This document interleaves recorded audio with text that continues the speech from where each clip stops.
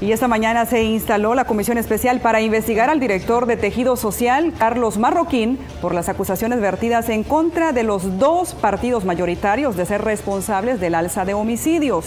Diputados aseguran que se trata de un tema de seguridad pública y que no se busca perseguir a personas naturales, sino garantizar la institucionalidad del país, dicen.